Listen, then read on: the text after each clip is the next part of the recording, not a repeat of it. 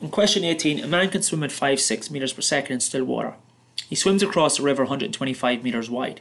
The river flows with a constant speed of 25 over 18 metres per second, parallel to the straight banks.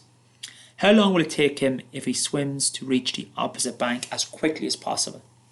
Now, if the man wants to end up, um, wants to cross the river in the quickest possible time, he would have to head straight across. Now, the current then will bring him downriver and we can represent this uh, in a diagram.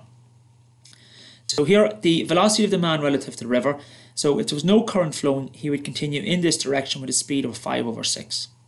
However, there is a current flowing and this brings him down river and the speed of the river is 25 over 18. So this vector would represent the actual velocity of the man. That would be Vm. And in terms of distance, the river is 125 meters wide and this is the actual distance that he travels. Now using similar triangles we can state that the time taken is the actual distance over the actual speed however that's the same as 125 over 5 over 6. So the time taken will be 125 over 5 over 6 and that works out as 150 seconds. Now if we want to find the time taken to cross um, if he travels as little down river as possible. So we want this distance to be as little as possible. Now, if the man heads out at some angle relative to the uh, bank, the current then is going to bring him down river.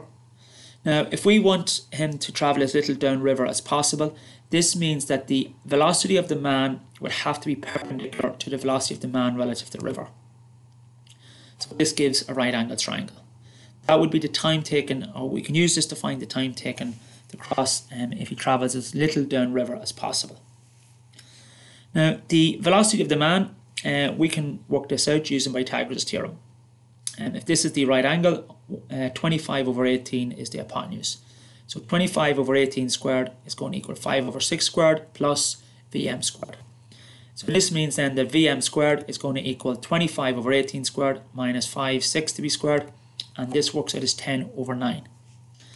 Now this angle and this angle are going to equal because that line will be parallel to this line. So in the black triangle, the sine of theta is the opposite over the hypotenuse.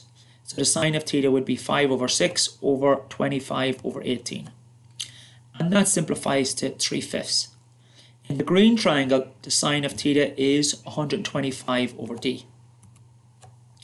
Now, if we cross multiply 3d equals 625, and then this means d works out as 65 over 3. So the time taken is the distance over the speed. The distance is d and the speed is vm. We know what d is and we know what vm is. So this means the time is going to be the distance is 65 over 3 and divided by the speed was vm and that worked out as 10 over 9. And this gives a time of 187.5 seconds.